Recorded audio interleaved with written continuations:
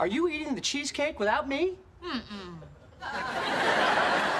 I will give you a hundred dollars to whistle right now. Oh my God, that is the best cheesecake I've ever had. Where did you get this? It was at the front door when I got home. Somebody sent it to us.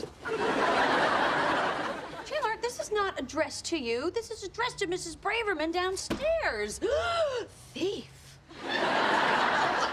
Didn't read the box before I opened it, and you can't return a box after you've opened the box. What? Why not? Because it's too delicious. Chandler, you stole this cheesecake. That is wrong. No, no, no, it is going to be okay because Mrs. Braverman is going to send away for a free one. And that way we all win. The only losers are the big cheesecake conglomerate, Mama's Little Bakery. Wrong address again. So just bring it back downstairs. What's the problem? I can't seem to say goodbye. Are you serious? Chandler, we ate an entire cheesecake two days ago, and you want more? Well, I've forgotten what it tastes like, okay? It was cheesecake. It was fine. It had a buttery, crumbly graham cracker crust with a very rich yet light cream cheese filling.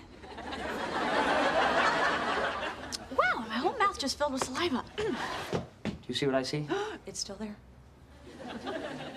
Mrs. Braverman must be out.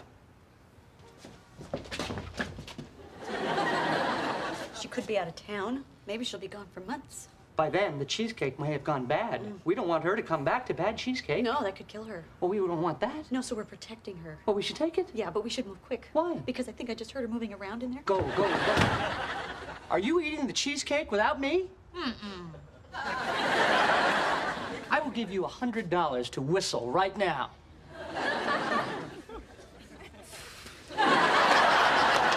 How can you eat the cheesecake without me? Oh, what are you gonna do? Are You gonna go run tell Monica? Are You gonna tell Joey? No, because then you're gonna have to tell them what we did. We are dessert stealers. We are living outside of the law.